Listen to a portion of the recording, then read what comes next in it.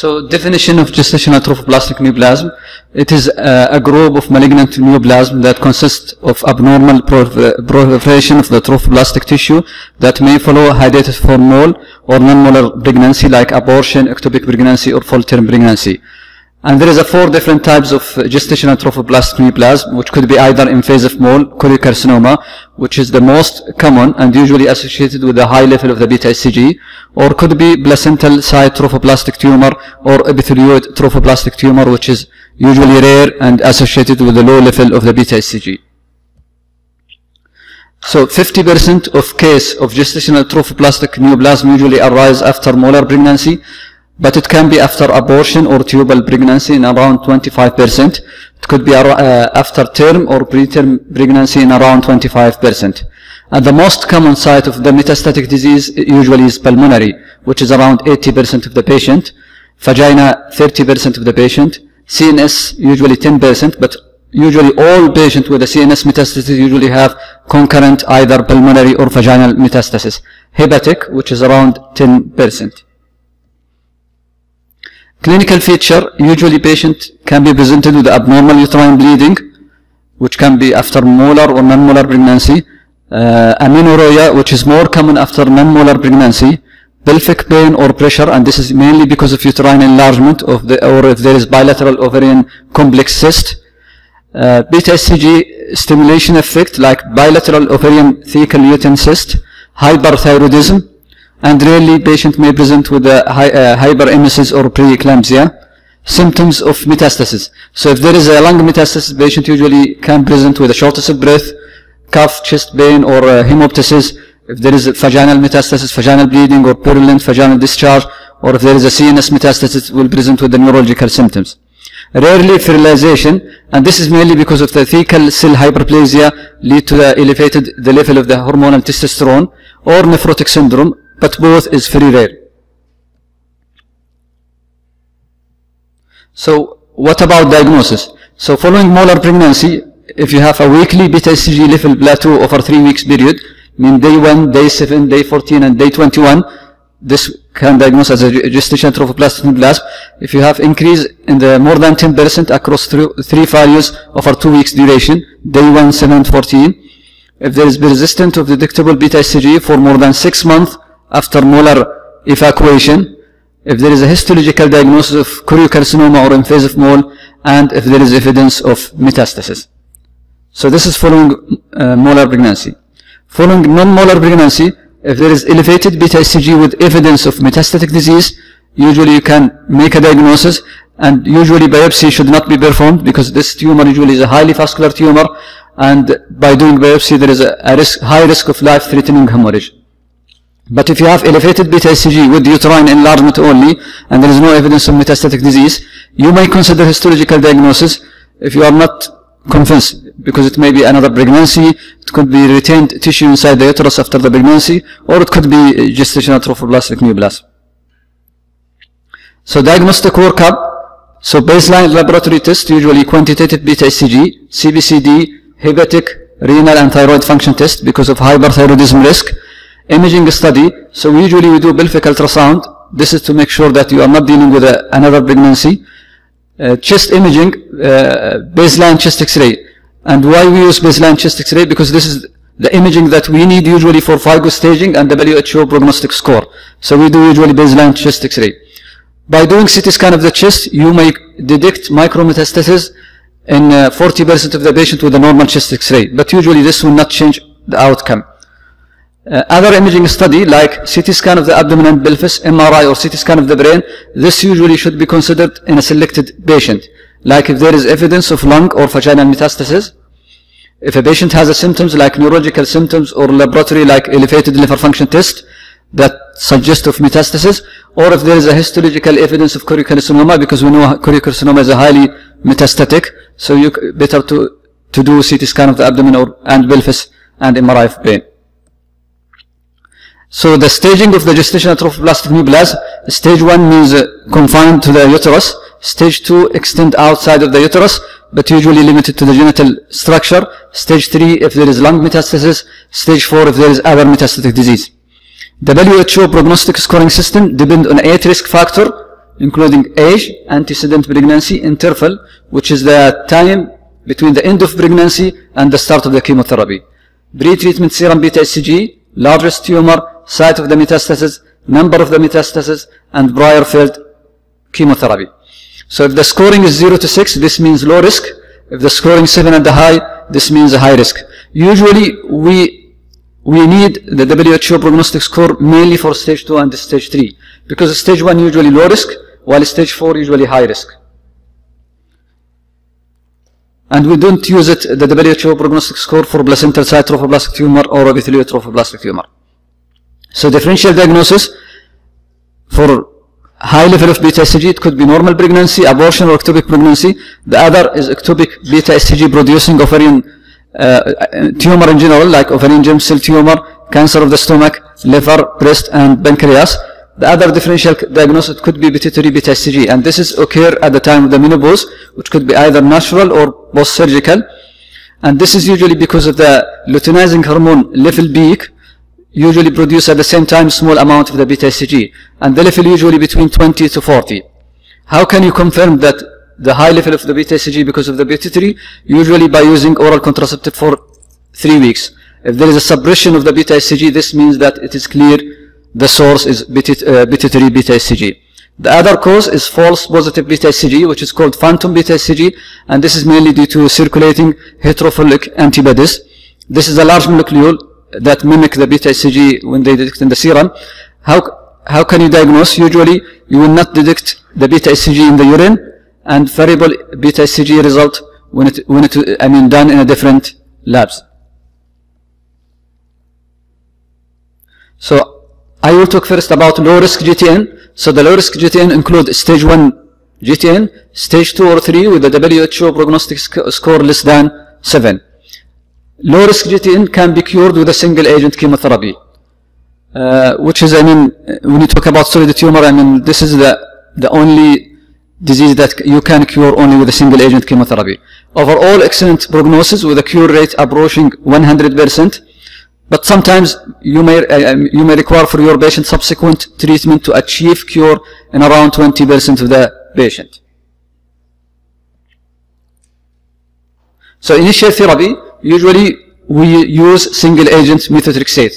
Sometimes you may consider hysterectomy for a patient if she doesn't desire long, I mean, fertility, and by doing hysterectomy you may uh, reduce, uh, I mean, the number of the exposure to the chemotherapy after the surgery, but most of the case we advise after hysterectomy you may give one course of the chemotherapy to treat micrometastatic disease.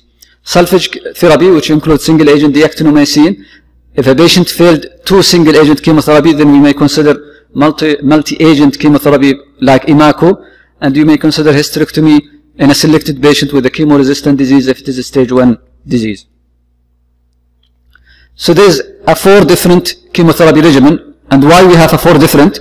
Because of lack of high quality data. There is no randomized trial to comparing each regimen with, uh, in between. So, I mean, can be used weekly methotrexate, can be used 8-day regimen of methotrexate, can be used 5-day regimen of the methotrexate, or can be used high-dose methotrexate. But the most user, I mean, methotrexate either weekly, 8-day regimen, and sometimes 5-day regimen. Dactinomycin, it could be either bi-weekly pulsed regimen like uh, 1.25 every two weeks, or it could be five day regimen for five days every two weeks. So this is 2016 meta-analysis in which uh, patient with a low risk GTN treated with a single agent chemotherapy, so comparing single agent dactinomycin versus single agent methotrexate. And this include seven randomized trial comparing both, and you can see with the actinomycin, there is a high cure rate as compared to the single agent methotrexate with the relative risk re, I mean, ratio is a 0.65 which is a significant. From our experience at KFSH, 131 patients with a low risk gestational trophoblastic neoplasm treated with a chemotherapy and you can see the complete remission to the initial chemotherapy was around 70%. When you look for a single agent methotrexate was around 53%, single agent dactinomycin was 87%. Around 25% of the patient require a salvage therapy and overall complete remission either to the initial chemotherapy or subsequent chemotherapy was around 90%. So we, I mean in general, we prefer to give single agent methotrexate because of lower toxicity, decreased cost and advantage of convenience and we may, we may, I mean we may keep uh, the single agent dactinomycin as a salvage therapy for a patient who has methotrexate resistant or as a primary therapy when there is a contraindication to the methotrexate like effusion, renal or hepatic impairment. During therapy, beta-HCG should be measured weekly after a complete remission, which is means that beta-HCG should be below 5, then we can continue for additional 3 cycles. Sometimes you may consider observation for a patient with a raised beta-HCG 6 months after molar, molar evacuation if it's still falling down. And they found by the study that if you follow only by observation, around 80% of the patient, they may get spontaneous remission. And only maybe 20% of the patient that you may need treatment. So if a patient willing to continue follow up like every two weeks with the beta HCG, and the beta HCG is going down, even after six months, you may consider only observation. High risk GTN, it include stage 4 disease, or stage 2 and 3 with a risk score more than 6. Usually treated with a combination chemotherapy and the preferred regimen is EMA-CO.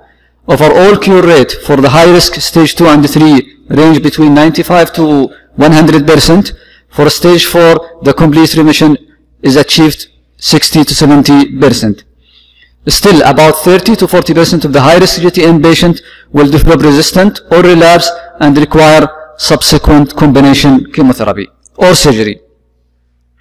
So the EMA-CO regimen, usually day 1 will be etoposide dactinomycin methotrexate, day 2 etoposide dactinomycin, and day 8 will be cyclophosphamide and vincristine, and usually this regimen will be repeated like every 2 weeks, every 2 to 3 weeks.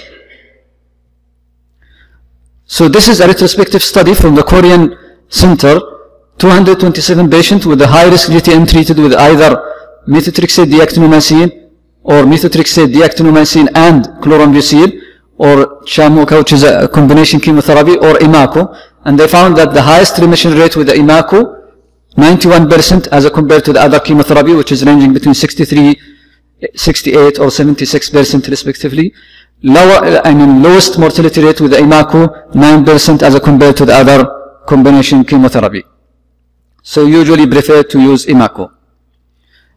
From our experience, uh, at KFSH, 88 patients with a high-risk GTN treated with the combination chemotherapy, and you can see the complete remission rate to the initial chemotherapy was 57%, and with EMA-CO, the complete re uh, remission rate was 94%, while the other chemotherapy, this is used, I mean, uh, like in 70, I mean, earlier, before we, I mean, use EMA-CO, and you can see the, I mean, the complete remission uh, to the chemotherapy was better with EMA-CO. 34% of the patient require a salvage chemotherapy and overall complete remission to either I mean, initial chemotherapy and the subsequent chemotherapy or may include the surgery was 73%. So usually beta HCG should be measured weekly during the therapy for the high risk GTN. After complete remission, when the beta HCG become below 5, usually will continue for additional 3 cycles, which means like around 6 weeks. In selected patients with a high tumor burden, initially, in order to reduce the early death due to hemorrhage or respiratory compromise, especially if the patient has a bulky lung metastasis, usually we start with a low dose induction chemotherapy. So we use etoposide 100 milligram per meter square and cisplatin 20 milligram per meter square on a day one and two, repeated weekly for one to three weeks. So you decrease the load, I mean, the load of the disease, the burden of the disease, and then after that you may continue on EMA-CO. So the risk of the hemorrhage will be less. So initial therapy, usually we use EMA-CO chemotherapy, but sometimes if a patient has brain metastasis, we use EMA-CO with a high dose methotrexate, 1000 milligram per meter square over 24 hours. Better to get a, neuro, a neurosurgical consult prior to, uh, to the treatment because of the high risk of the complication either with a brain metastasis or as a consequence of the treatment and mainly is intracerebral bleeding. So better to get a neurosurgical consult before that. Some center they may use whole brain radiation in addition to the EMA-CO, the high dose. And their rationale that by using the whole brain radiation, you may shrink the brain metastasis, you may increase the concentration of the methotrexate in the CSF, and you may reduce the risk of the intracerebral bleeding, but usually this associated with the increase the treatment-related toxicity of methotrexate like leukoencephalopathy. Salvage therapy for a patient who failed EMA-CO, usually we consider EMA-EP, and this means that at day 8, we use etoposide cisplatin instead of cyclophosphamide vincristine. The other regimen that can be used as a third line or uh, is Taxol etoposide alternating with the Taxol cisplatin, BEB, uh, BVB, which is a cisplatin, vinblastine, bleomycin, or paclitaxel carboplatin. You may consider surgical resection like pulmonary, hepatic, any, if you have a solitary lesion with the chemo-resistant. So, the definition of the resistant disease if patient on treatment and there is increase or plateau in two consecutive beta HCG value over two weeks interval, this means a resistant, or if there is a detection of the new metastasis. Recurrent disease means that beta HCG re-elevate after becoming undetectable for three consecutive weeks. We know that the half, half-life of the beta HCG is 1.5 to 3 days, so usually it should be, I mean, the, the level should be full by one log over the like 18 days. So if become like plateau or increase, this means that resistant and you should switch treatment. When a patient get a resistant or recurrent disease, better to do restaging again. So you consider CT scan of the chest, abdomen, pelvis, and MRI of the brain to decide what treatment. You may consider combination chemotherapy. If there is a solitary lesion, you may consider surgical resection.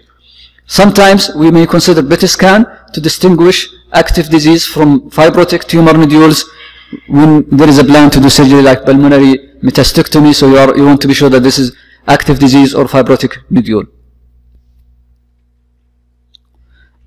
Post-treatment surveillance after complete remission is achieved, usually we do beta level should be measured monthly for 12 months, then every 3 to 4 months for the second year, then every 6 months for the third year. And 85 to 95% of the recurrence occur within the first 18 months. And usually the risk of the recurrence like 5 to 10% if achieve complete remission. Women should use contraception during the therapy and surveillance to be sure that the beta, I mean, there is no pregnancy in the future, so this will, will make you, I mean, uh, if beta HCG elevated with a pregnancy, is it because of the pregnancy or still there is active GTN? So usually we advise that patient should be in contraception. Patient may attempt to achieve pregnancy after 12 months for low risk gestational trophoblastic neoplasm and 24 months for the high risk gestational trophoblastic neoplasm. What is the definition of the quiescent GTN? Definition, it means plateau of beta HCG at a low level, usually below 200 for at least 3 months. And usually there is no evidence of primary disease and there is no evidence of metastatic disease. Typically occur after molar pregnancy or GTN. So patient after molar pregnancy, the beta HCG may fall down until become below 200 and then become plateau. And this is more likely if there is no evidence of primary or metastatic disease that's quiescent. Usually uh, characterized by little or no hyperglycosylated beta HCG will be seen on SA due to few cytoplastic cell, generally chemo-resistant. So usually only what we need is a follow-up because 20% can develop GTN and this is usually you will find with a follow-up two doubling of the beta HCG and beta HCG become hyperglycosylated in more than 20%. So patient, if we consider this patient has quiescent GTN, usually we follow the beta HCG like every month. What about placental site trophoblastic neoplasm and epithelioid trophoblastic neoplasm? Usually characterized by growing more slowly, metastasizing later, involve lymph nodes more commonly, and produce low level of the beta HCG. Most commonly occur after non-molar abortion and pregnancy, but can occur after molar pregnancy. Diagnosed several months or years after pregnancy, usually relatively resistant to chemotherapy, so what we use usually is a combination chemotherapy. Modified WHO prognostic scoring system is not useful for placental site or epitheliotrophoblastic neoplasm. Stage 1 usually treated with a hysterectomy we may consider adjuvant combination chemotherapy if disease presenting for more than four years of antecedent pregnancy. Stage 2 or 3, combination of surgery and chemotherapy. Metastatic disease usually associated with a poor outcome, and we treat with a multi-agent chemotherapy, which could be either EMA-CO or EMA-EP. So I will give you, I mean, still there is a time. So I'll give you an example for a case presentation. So this is a 30-year-old female, BRA1, uh, BRA1 plus 0, not known to have any medical illness. She had a full-term pregnancy with a spontaneous vaginal delivery at 27 June 2014. She, after that, she had a continuous vaginal bleeding and underwent dilatation and curettage at 22 September 2014, which showed choriocarcinoma. She required blood transfusion twice because of low hemoglobin and continuous vaginal bleeding. She presented at our hospital at 13 October 2014, complaining of mild beefy bleeding on and off with history of mild headache. There was no history of nausea, vomiting, abdominal pain, shortness of breath, cough, or blurred vision. While she was inpatient, she developed one episode of seizure and she was treated with the Keppra. On a physical examination was unremarkable except that she is pale. Her hemoglobin was 96. Otherwise renal hepatic function was normal. Beta HCG was more than 1 millions. And uh, she has a picture of hyperthyroidism.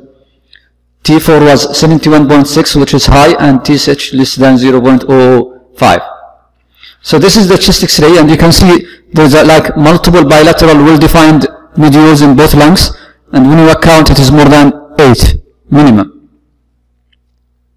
And this is the CT scan and you can see there is a bilateral multiple pulmonary metastasis. There is a uterine mass which is around 7 by 4.7 centimeter. There is a bilateral complex ovarian cyst and this is it is ovarian thecal lutein cyst and there is hypodense lesion at the segment 7 of the liver. This is the MRI of the brain which shows enhancing lesion in the left parietal temporal lobe and also at the right cerebellar hemisphere. So what stage she has? Stage 4. طيب. What is the WHO prognostic score if you want to account? Hmm?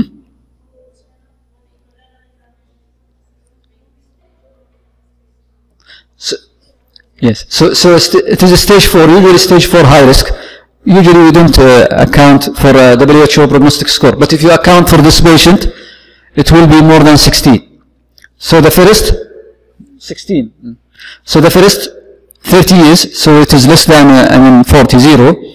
But she has a full-term pregnancy, which is a 4. She has, uh, uh, she was diagnosed within a 4 month, so it is 0. Uh, when you talk about beta HCG, it is more than 100 million, which is a 4. Uh, there is a lung metastasis 0.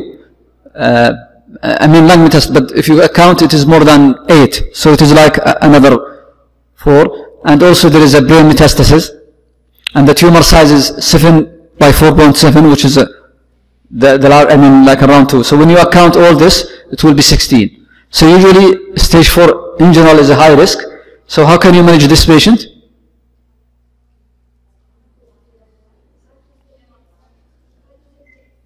so with the dose methotrexate so you, she received 13 cycle completed on 13 March 2015 and you can see when you look to the beta HCG is going down, then at 60 become plateau.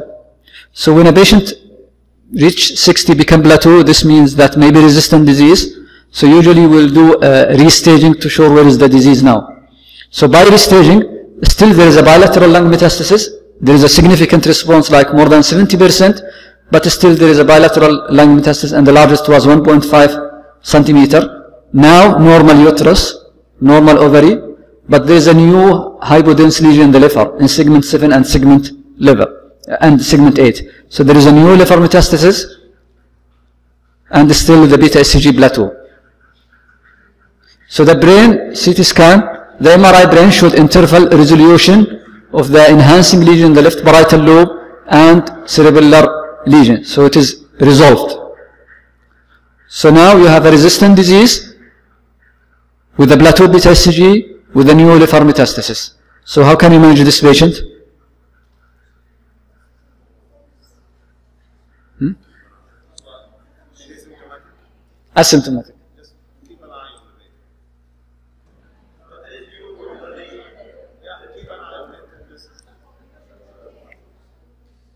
Sharifa?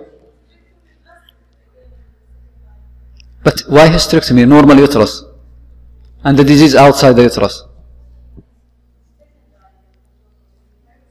So because there is a new uh, liver metastasis, still there is a lung metastasis and beta HCG become plateau at 60. So she was treated with the second line combination chemotherapy. There is no brain metastasis, no. So we give her EMA-EP, seven cycle completed at 23 August 2015. And you can see the beta HCG dropping down until become below 5 and then achieved complete remission. So she finished in August 2015. This repeating CT scan at January 2017 you can see more significant response and the only lesion remaining it is less than 1 centimeter 6.3 millimeter which is more likely to be fibrotic nodule and resolution of the liver metastasis and this lesion since long time is still and most likely hemangioma but the new lesion was in segment 8 and 7 is resolved so this is in January 2017 and on a follow-up repeating uh, beta HCG in January 2018 which is around two and a half years after the last second line of chemotherapy still beta HCG normal. Okay, thank you. Thank you.